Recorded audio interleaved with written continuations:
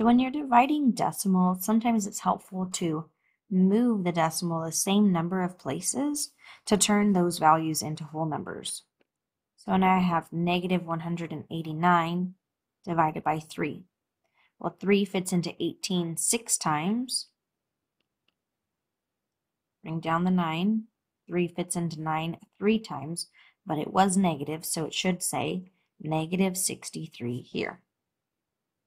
You can do the same thing on this one by turning it into 220 divided by negative 8.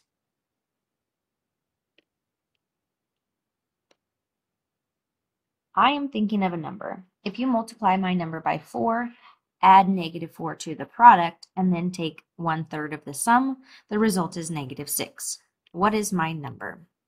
First, we're going to guess a number and check to see whether it is correct. So I'm going to guess that my number is maybe negative 2. So I'm going to multiply my number by 4, which gives me negative 8. And then I'm going to add negative 4 to that. 8 plus negative 4 is negative 12. And then I'm going to take a third of the sum. So 1 third of negative 12. Well, that would be negative 12 on the top and 3 on the bottom. 3 fits into 12 four times, so that gave us an answer of negative 4. But my result was supposed to be numbers, or was negative 6. So determine whether ours was correct. Negative 2 is not the number this person was thinking of.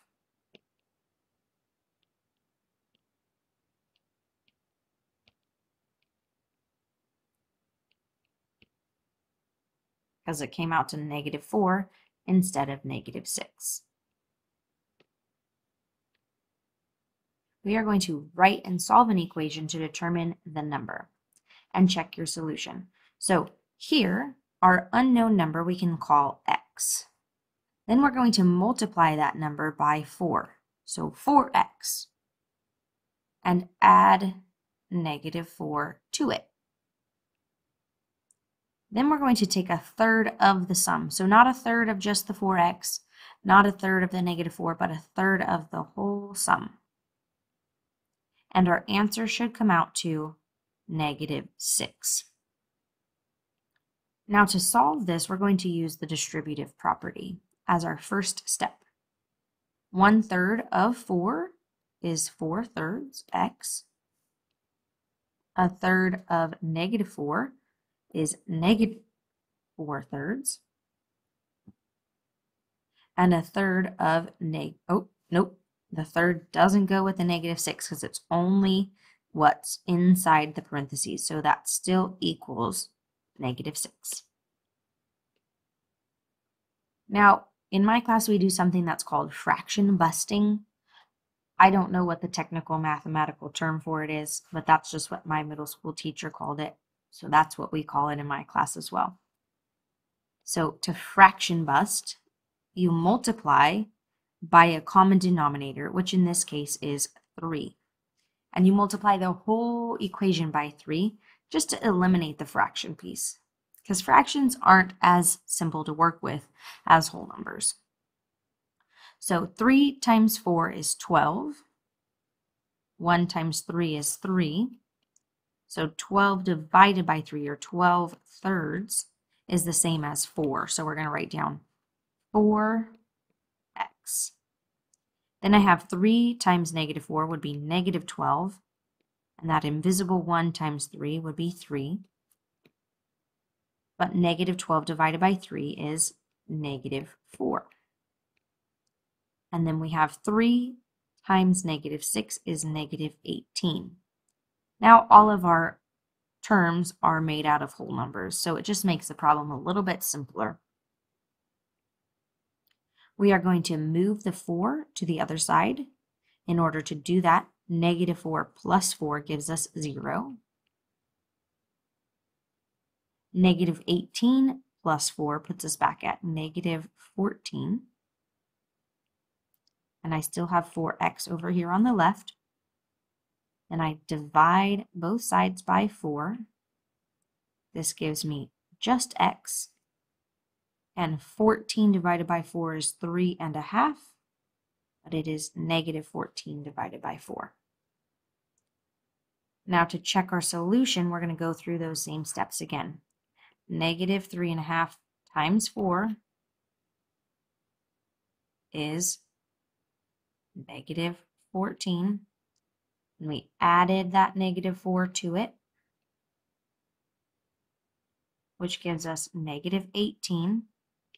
And then we took a third of that sum. Third of negative 18 is negative 6. So we were correct. The number they were thinking of was negative 3.5. And after we followed their steps, we also got negative 6. For parts A and B, we are going to fill in the boxes with three different digits from numbers 1 through 9. Our goal is to get the largest x and the smallest x. Now my class started out by just choosing random numbers from 1 through 9 to put in here. So something like 3x minus 6 equals 9. And so when we solved that, we had to add 6 to both sides, which gave us 3x equals 17. And then we divided by 3. 3 fits into 15 five times, with two extras to get to 17. So we examined what happened. We saw that we ended up adding these two numbers together and dividing by this number. So if we wanted to make the largest, we would want to add the highest numbers we could together. So instead of 6 and 9, we chose 8 and 9 because those are the biggest two digits from 1 to 9. And then if we want a large number, is it better to divide by a big number or divide by a small number? Well, if we divide it into a lot of pieces, those chunks get smaller and smaller and smaller. Think about a pie. If we divide it in fewer parts, those pieces are bigger. But if we continue to split it up, those pieces get smaller and smaller. So we wanted to divide by a small number here. And so then we tried that to see if we could get the largest x possible. So here I have a single x minus 8 equals 9. And so I added 8 to both sides. And that gave me x equals 17. And 17 is quite a bit bigger than 5 and 2 thirds.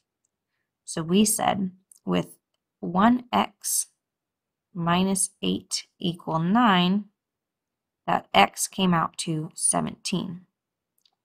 Now, if we want the smallest x value possible, we're going to want to split it up into a bunch of pieces. So we're going to put our biggest number here.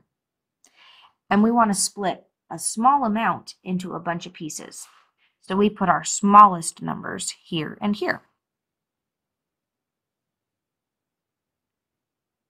So we added 1, so it made 0 here and we had to do it to the other side as well.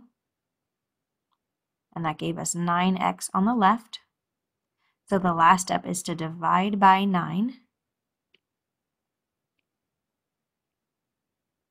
Excuse me. So x equals 3 ninths, but that can be reduced. 3 fits into 3 one time, and 3 fits into 9 three times. So we can reduce it to 1 third.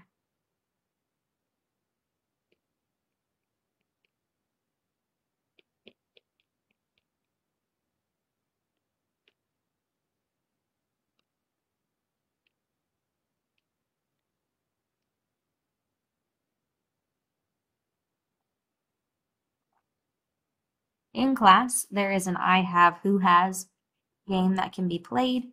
Basically, what you do is you're going to have a card, you're going to find the solution, and then you're going to ask who has the solution of this number. And the next person has to solve their card to figure out what their solution is for X. And so you go around the room solving your card and listening for your solution. You can work on some of these problems here if you'd like to. We also just used some digital practice of solving for equations.